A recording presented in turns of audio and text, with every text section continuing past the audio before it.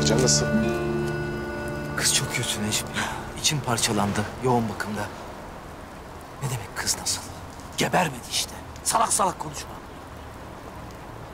Eşancığım arabaya bin. Sen burada bekle. Bekle.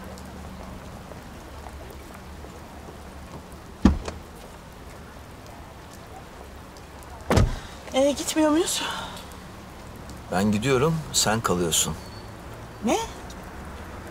Ben gidiyorum, sen kalıyorsun. Ve Mercan ölmeden eve gelmiyorsun. Ne diyorsun Vedat? İlk cinayetini işleyeceğin için çok heyecanlandın değil mi Eşan? Ne, ne ilk cinayeti? Sana söylemeyi unuttum değil mi? Tüh, benim eşekliğim. Sana bir müjdem var.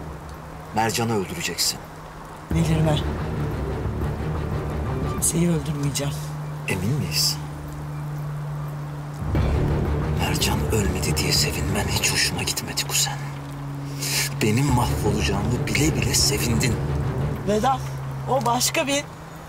Artık senin terfi etme zamanın geldi Eşan.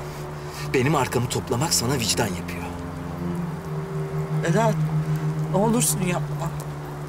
Bir gün bana olan borcunu ödeyeceğine söz vermiştin Eşan. İşte o gün geldi. Kusura bakma kuzen. Eğer suç ortağı olmazsak kendimi güvende hissetmeyeceğim. Bağ devrenlerin uyumasını bekle. Kızın odasına gir ve işi hallet. Bu kadar basit.